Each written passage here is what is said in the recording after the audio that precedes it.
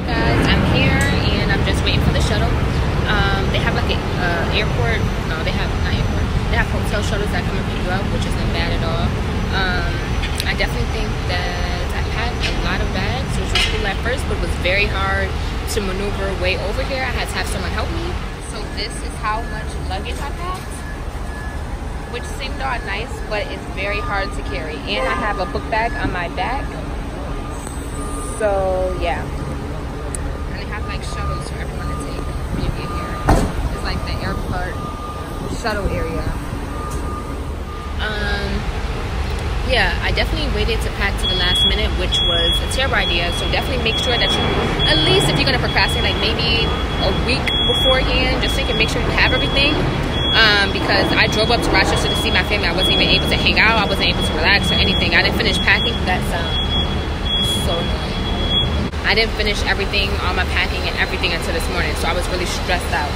Um, I'm a little bit nervous, I'm hot, and I feel a little unprepared everything because there's like a e-learning that you have to do, like a learning module that you have to do, and I haven't even started that yet. So um, that's gonna be one of the things on my first agenda.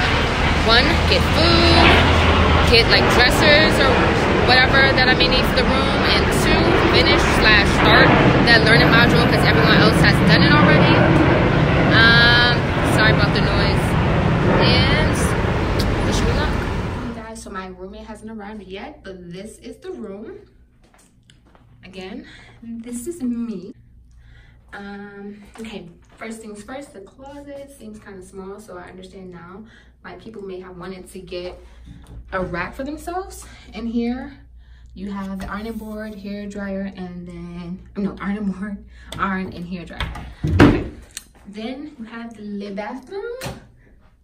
Oh, this is nice. I love the, the white light. Looks really cute. Okay, let's back up. And then you got the bathroom. Nice. Got a little coffee maker right here.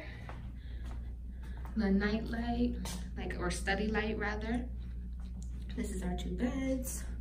Little painting. This is the side that I want to sleep on next to the light.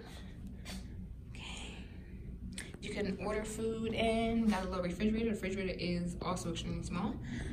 Okay, then you got the TV. And this is the room.